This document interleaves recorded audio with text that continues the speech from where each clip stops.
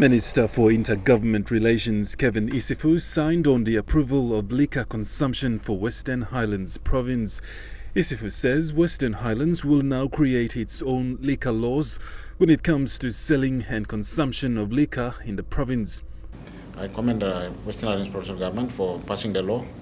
So now we can go ahead with the signing so that uh, it satisfies certified uh, law so that it can be operated in the provinces in Western Highlands provinces, so they can be able to regulate their own uh, liquor license.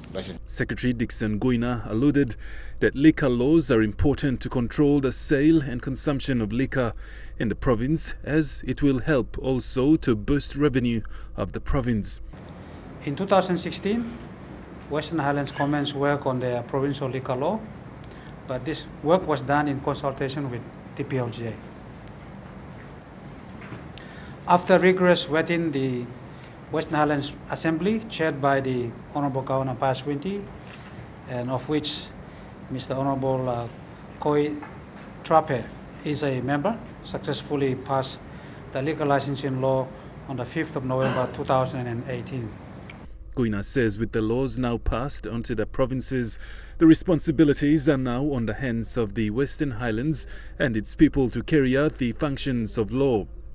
He says while social issues are very much associated to liquor, especially in PNG, tougher laws will not only steady the flow of liquor, but also maintain many of the country's social issues that are faced in communities. It is effective now. Local member for Mul-Baiya, Koi Trape, says black markets will not be tolerated and people will be asked to drink in designated areas such as clubs and hotels to the people of Western Highlands.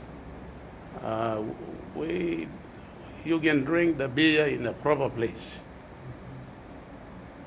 in the hotel or proper, proper club or proper setup, and uh, not in the black market. In the, so we, we want to enforce this, and uh, that is why you know we are pushing the.